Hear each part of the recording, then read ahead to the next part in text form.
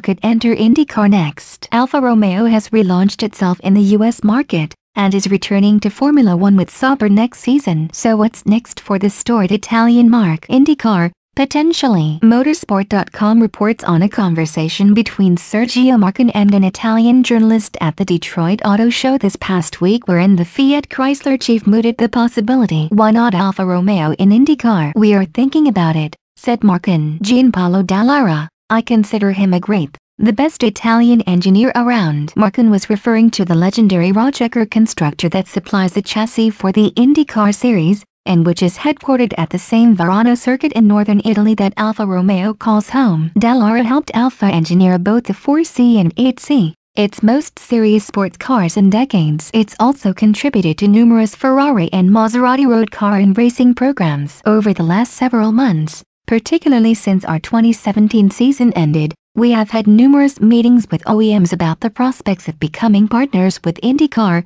IndyCar Racing Chief Jay Frye told Motorsport.com at the unveiling of the newly repackaged chassis in Detroit. We've had around 10 of them, some initial meetings, some follow-ups. Frye would neither confirm nor deny that Alfa Romeo or FCA could be among them. However both Chevy and Honda, the two manufacturers currently supplying engines to the series, are reportedly keen to welcome a third automaker into the series. Alfa Romeo last competed in IndyCar between 1989 and 1991, adapting Ferrari's aborted program, but never scored a pole position, race win, or even a podium finish.